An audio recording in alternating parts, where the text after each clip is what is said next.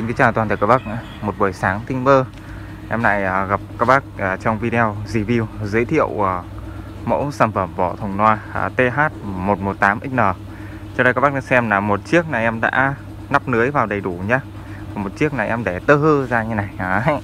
Để tơ hơ này. Hưng yên một ngày nắng và ít gió. Bây giờ chưa thấy gió lắm. Thấy nắng thôi nhưng chưa thấy gió đâu cả. Đấy, các bác nhá.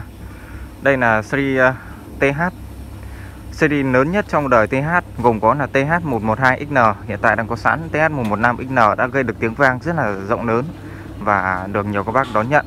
Và cuối cùng là TH118XN Đây là phiên bản à, Ultra Long Frequency, Tức là loa hệ siêu trầm, tần số cực thấp. Một trong những hệ thống loa mà em ưng ý nhất từ trước đến giờ. Hệ thống vỏ thùng loa cung cấp ra cho các bác à, tạo ra một áp suất âm thanh khủng và tạo ra được những nhịp tần số cộng hưởng. Các bác không tưởng tượng được tại sao nó làm được như thế. Đấy. thì bây giờ em sẽ giới thiệu qua cho các bác nhé thùng thì à, bên em sơn phủ bằng nước sơn là sơn sần là hạt mịn lưới vải à, e căng được à, căng ngoài tấm lưới sắt. Trước là còn lưới sắt nhưng bây giờ là căng vải, nhìn trông nó đẹp, còn lịch sự hơn rất là nhiều.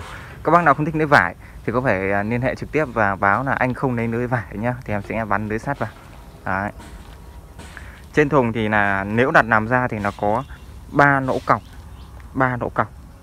Để các bác đặt là loa các bác đánh à, form uh, form fill này à, uh, FOH side fill delay hoặc là monitor tùy chọn. Đấy. Ở trên thùng thì có ba lỗ cọc nha ba lỗ cọc. Và bên cạnh này thì có một lỗ cọc nữa hay còn ở trên nóc là có một lỗ cọc nữa các bác nhìn là sẽ thấy. Được chưa thùng tất cả hàng của bên em thì em sẽ đều ký tên bằng cách là có logo thương hiệu hình cái mic cách điệu kia. Đấy, để khẳng định là hàng của Văn Đông được chưa? Thiết kế thùng đây các bác này. Thùng này thiết kế theo kiểu dạng là tắp home dựa trên thiết kế uh, gốc của Dane Soundlab một thương hiệu âm thanh nổi tiếng đứng đầu uh, tại Mỹ với thiết kế độc dị lạ và nó ra một chất âm nó thật sự là rất là cuốn hút. Em đã được nghe à, uh, TH118XN ngoài đời thật và em cảm nhận là nó đánh kinh khủng chưa loa súp nào mà có có một cái lực đánh nó kinh khủng đến thế. Một chiếc súp đơn mà đánh uh, FPL duy trì uh, 138 dB đỉnh điểm 143 dB kinh thật. Chưa là nào được nghe súp đánh ghê thế và về quyết định là sẽ copy và tung ra thị trường. Với ờ, các cái mẫu súp như bên em cung cấp thì thường thường nó nó sẽ có một cái chất lượng riêng và nó hợp với các bác nào mà gọi là có những hệ thống củ loa cực kỳ kén chọn thì nó sẽ hợp với những thùng như này như các bác nhé. Thùng này thì chuyên trị cho những củ bát cực kỳ khó tính. Đó, các bác có những củ loa bát từ 28 côn 125 từ 2 côn 120 tầng côn hay là các loại loa cục loa cao cấp của châu Âu ấy. Các bác nên lắp vào những cái thùng như này này nó sẽ đánh ra được chất luôn. Các bác có củ bãi xịn của châu Âu nha. Thì các bác lắp vào những cái thùng này nó sẽ ra được cái chất của nó luôn. Lực đánh của nó rất là kinh khủng và trường âm của nó đi rất là xa. Hôm qua à, em có nắp thử một chiếc TH118XN Và thôi không kể nữa. Nó đánh thật sự là rất khủng khiếp. Đêm tối ngày hôm qua Tầm à, hơn 8 giờ tối thì lúc đó em không quay được. Đến sáng ngày hôm nay thì lại phải tháo bát ra để giả khách Bởi vì bát đó là nắp vào thùng của khách hàng sửa. Và cũng tiện thì quay à, giới thiệu cho các bác à, về tổng quan ngoại thất như này nha các bác nhá. À, Với chiều ngang chiều ngang các bác đặt là như thế này thì uh, nó sẽ vào là ờ, một m linh bảy. Các bác nhá một m linh bảy. Còn uh, chiều sâu là 80 sâu là 80 và chiều cao chiều cao các bác đặt như này là 60 các bác nhé chiều cao là 60 trên thùng này thì em thiết kế là có bốn tay sách ở bên cạnh. Bên kia cũng bốn tay sách nữa. Trên nóc à, hai tay và dưới đây cũng hai tay nếu đặt nằm như này. Còn đặt đứng thì là chỉ có hai tay thôi nhá. thùng bên này nó có hai tay bên kia nó có hai tay nữa để công bác vận chuyển. Và cái khối lượng cái thùng này thì rất là nặng. Thùng không thôi là 62,4 kg. Cả lưới nữa thì à, nó là vào à, gần 67 kg.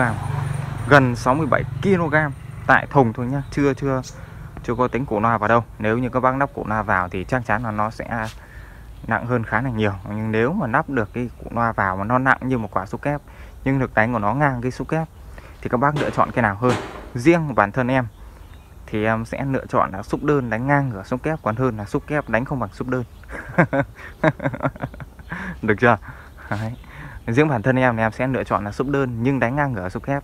Chứ em không lựa chọn theo kiểu là xúc kép nhưng đánh không lại được một cái xúc đơn. Đấy. nói theo kiểu hơi khịa khịa tí nhưng mà các bác thực tế có đi làm nó sẽ thấy. Và cũng kể luôn này nếu như các bác mà có những củ loa đang dùng và đánh trong những cái thùng bình thường nó không gian được chất các bác lắp vào cái thùng này nó sẽ dàn được chân luôn.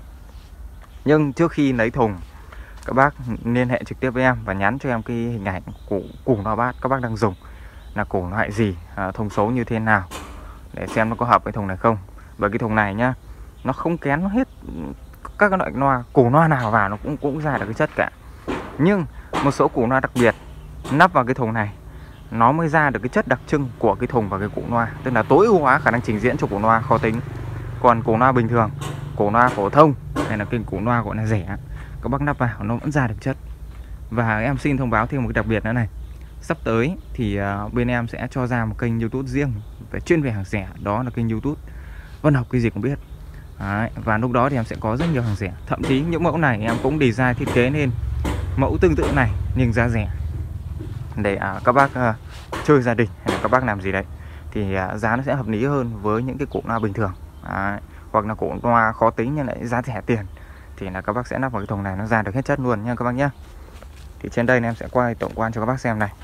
Phần à, đáy nằm ngang này thì là không có cọc một bên có cọc một bên không có cọc tất cả đều có bốn tay sách các bác đặt đứng được đặt nằm được. Đấy.